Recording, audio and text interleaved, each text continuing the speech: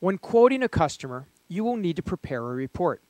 Reports can be found in the Report on Design section.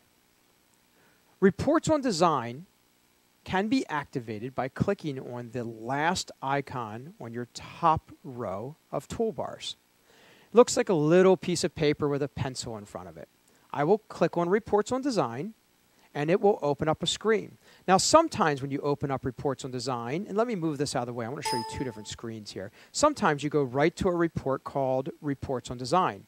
Other times when you enter, it's usually after you've already produced a report, this screen called Assign Design will appear. Click Quick Sale, move past that, and you go right into the Reports on Design menu.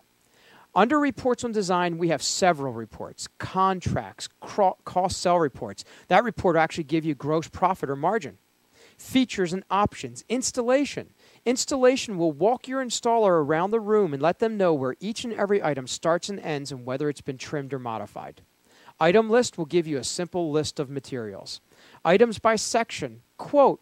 Quote's the one that I'd like to go into right now. That's probably the most frequent, frequently used report. So let's double click on quote and move on to the next screen.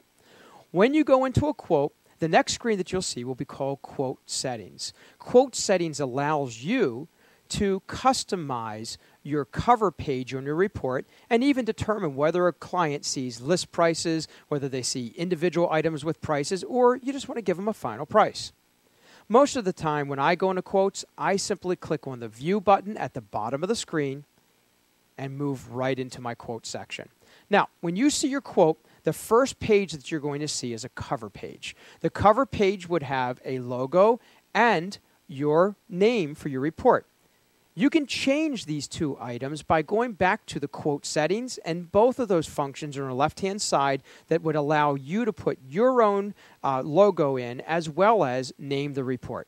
This is also where your customer information would appear. That's the information that you typed in in the design information screen. Now, at the top left hand corner of the page, you have left arrows and right arrows. The right arrow, the single arrow, allows you to move forward a page at a time.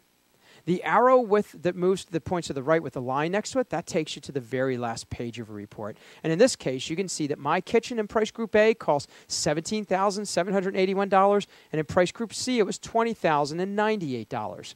The numbers that you're looking at, these are list prices if you want to, you do have the ability to work with your cost and your very own sell multipliers.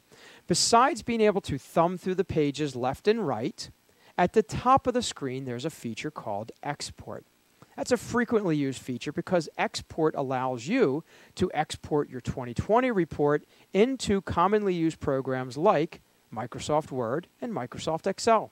So for those of you who create databases, or I'm sorry, create spreadsheets and templates, you can go up to Export, go down here to Format, click on the arrow, and choose Excel, and Excel, I'm sorry, and, uh, and export your 2020 reports directly into Excel.